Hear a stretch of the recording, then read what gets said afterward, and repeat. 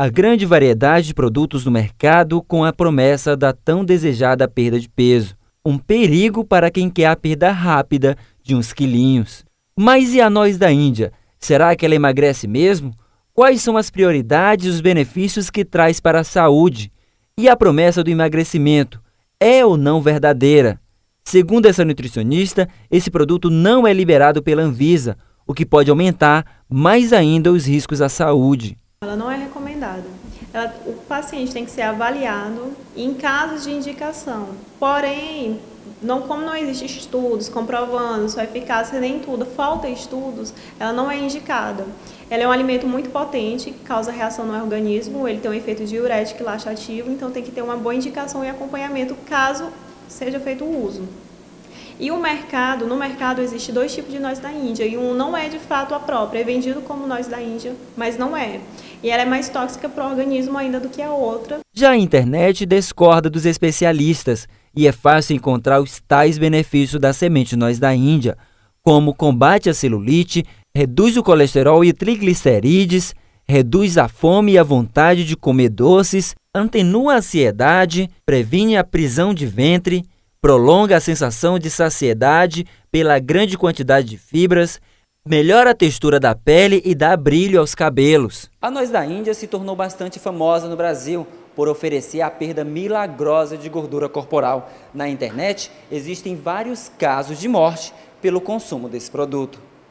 Em um caso mais recente na capital São Luís, a família de Raquel Cristina Ferreira Araújo entrou na justiça.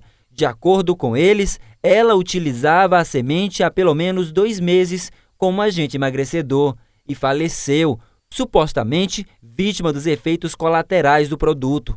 A cunhada de Raquel, a médica pediatra Mazélia Ribeiro, pensou que a princípio se tratasse de um episódio infeccioso. Um quadro muito intenso de alteração hepática que se refletiu nos exames. Por exemplo, a gente não tem numa hepatite, numa cirrose, um, uma alteração que o normal é até em torno de 40, né, 49 das transaminases, que são enzimas que podem ter outro lugar, mas uma delas é principalmente no fígado.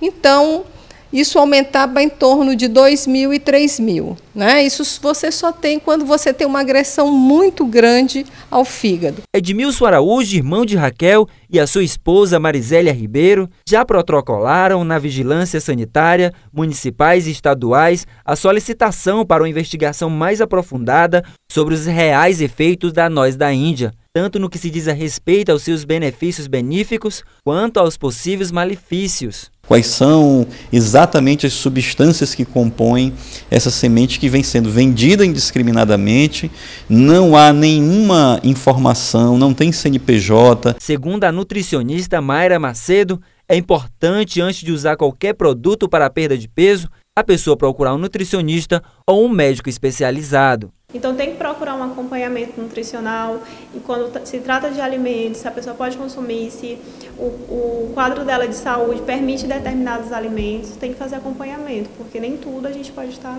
consumindo demasiadamente.